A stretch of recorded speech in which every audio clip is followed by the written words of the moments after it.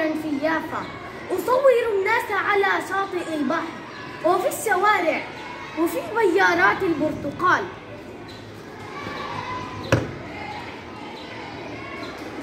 انظر يا سامي كل هذه البيارات وهذه الحقول والشاطئ الجميل والمئذنة البيضاء كانت لنا ذات يوم وسوف نعود إليها مهما طال الزمن.